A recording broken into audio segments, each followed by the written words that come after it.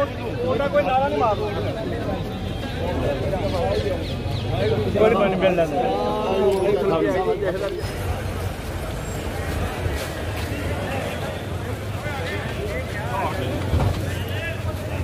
ਸ਼੍ਰੋਮਣੀ ਅਕਾਲੀ ਦਲ। ਨਾਰਾ ਨਹੀਂ ਮਾਰਦਾ ਉਹਦਾ ਕੋਈ ਨਾਰਾ ਨਹੀਂ ਮਾਰਦਾ। ਕੋਈ ਨਹੀਂ ਮਿਲ ਲੈਂਦਾ।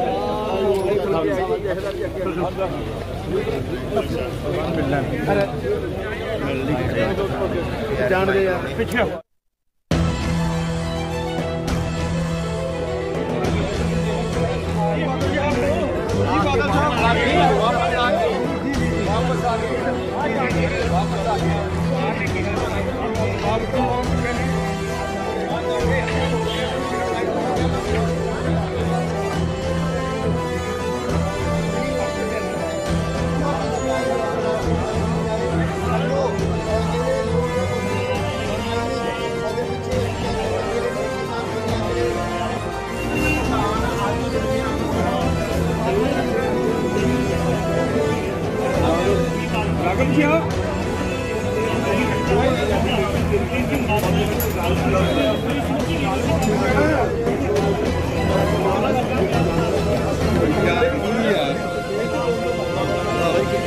ਜਾਣ ਭਾਈ ਕੀ ਕਰਦੇ ਵੇ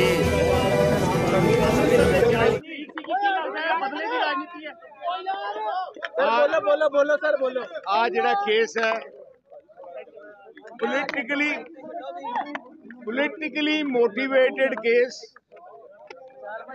ਝੂਠਾ ਕੇਸ ਪੋਲੀਟੀਕਲੀ ਮੋਟੀਵੇਟਡ ਕੇਸ ਸਾਡੇ ਤੇ ਕੀਤਾ ਗਿਆ ਹੈ। So we have full faith in the judiciary we have full faith in the judiciary ਮੈਨੂੰ ਜਿਵੇਂ ਪਹਿਲੇ ਇਨਸਾਫ ਮਿਲਦਾ ਰਿਹਾ, ਅੱਗੇ ਤੋਂ ਮਿਸਾਲ ਮਿਲੂਗਾ। ਆ ਜਿਹੜਾ ਕੇਸ ਹੈ ਸਾਰਾ ਪੋਲੀਟੀਕਲ ਹੈ ਪੋਲੀਟੀਕਲੀ ਮੋਟੀਵੇਟਡ ਹੈ। ਕਾਂਗਰਸ ਪਾਰਟੀ ਨੇ ਕੀਤਾ ਸੀ, ਹੁਣ ਆਮ ਆਦਮੀ ਪਾਰਟੀ ਉਹਨੂੰ ਪਰਸਿਊ ਕਰ ਰਹੀ ਹੈ।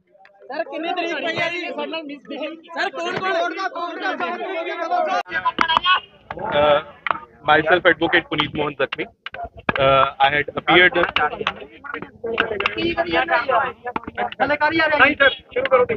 ਥੋੜੀ ਉਧਰ ਕਰ ਯਾਰ ਤੁਸੀਂ ਦੱਸੋ ਕੀ ਪੁੱਛਣਾ Myself, Advocate Puneet Mohan Zakmi. Uh, sir, this case was uh, under certain sections of Indian Penal Code, as well as uh, one of the section of Indian Epidemic Act, uh, Indian Epidemic Diseases Act. All the offences were available, but since uh, Mr. Sukhbir Singh Badal and uh, Mr. Virsa Singh Baltoha were ne- uh, we can say were neither being aware of the registration of the case against them nor presentation of chal- challan against them in the court. So to, lately, recently they had come to know, and accordingly, with due uh, faith in the judicial system and uh, we can say due respect to the judicial system, they had appeared at the earliest before the court and surrendered and got bail today in the court. Uh, so today, the, the next date which has been uh, proposed in this case is 29th of November for the purposes of consideration on charge. Brother, these are merely allegations. We, you know, uh, it is a case which has been registered on the basis of a complaint moved by a person who was even not present at the spot where they say the alleged occurrence had taken place. So these are merely allegations. Let's see. Uh, the trial will proceed, and the, we, are, we are hopeful. Uh, we have due faith in the judicial system. Okay. ਫੈਸਲਾ ਜਿਹੜਾ available ਤੁਸੀਂ ਦੱਸ ਰਹੇ ਹੋ ਹਾਂਜੀ ਹਾਂਜੀ ਇਹਦੇ ਵਿੱਚ ਹਰ ਵਾਰ ਸੁਖਬੀਰ ਬਾਦਲ ਨੂੰ ਪੇਸ਼ ਕਰਨਾ ਪਊਗਾ ਬਿਲਕੁਲ ਜੀ this is the state case accused ਦੀ ਹਾਜ਼ਰੀ ਜ਼ਰੂਰੀ ਹੈ ਜੀ ਜਦੋਂ ਨਹੀਂ ਆਉਣਗੇ ਕੋਰਟ ਨੂੰ ਐਪਲੀਕੇਸ਼ਨ ਐਗਜ਼ੈਂਪਸ਼ਨ ਦੀ ਮੂਵ ਕਰਾਂਗੇ ਉਹ ਸਾਡਾ ਰਾਈਟ ਹੈ ਜੀ ਤੇ ਉਹ ਕੋਰਟ ਕੰਸੀਡਰ ਕਰ ਸਕਦੀ ਹਰ ਤਰੀਕੇ ਸੁਖਬੀਰ ਬਾਦਲ ਕੋਰਟ 'ਚ ਪੇਸ਼ ਹੋਣਗੇ। ਹਾਂਜੀ ਹਾਂਜੀ ਬਿਲਕੁਲ ਹਰ ਡੇਟ ਤੇ ਵੀਰ ਹੋਣ ਤੇ ਨਾਲ ਬਿਰਸਾ ਸਿੰਘ ਵਲਟੋਆ ਵੀ ਨੇ। ਬਿਲਕੁਲ ਜੀ ਉਹ ਵੀ ਹੈਗੇ ਆ ਜੀ। ਤੇ ਹੋਰ ਵੀ ਅਕਿਊਜ਼ ਨੇ ਉਹਨਾਂ ਆਲਰੇਡੀ ਜਿਹੜੀ ਬੇਲ ਕਰਾ ਚੁੱਕੇ ਨੇ। ਤੁਹਾਡੇ ਵੱਲੋਂ ਜਿਹੜਾ ਹੈ ਕੀ ਫੈਕਟ ਰੱਖਿਆ ਗਿਆ ਹੈ ਕਿ ਇਸ ਕੇਸ ਜਿਹੜਾ ਕੀਤਾ ਗਿਆ? ਕਿ we are ready to join the investigation we are ready to face the trial ਜੀ ਬਿਲਕੁਲ। ਜਿਹੜੀ ਬਾਦਲ ਹਰ ਤਰੀਕੇ ਪੇਸ਼ ਹੋਣਗੇ। ਜੀ ਹਰ ਡੇਟ ਤੇ ਪੇਸ਼ ਹੋਣਗੇ ਸੁਖਬੀਰ ਸਿੰਘ ਬਿਲਕੁਲ। ਬਾਦਲ। ਤੁਸੀਂ ਦੇਖਿਆ ਕਿ ਸੁਖਬੀਰ ਸਿੰਘ ਬਾਦਲ ਹਾਂਜੀ ਹਾਂਜੀ। ਹਾਂਜੀ।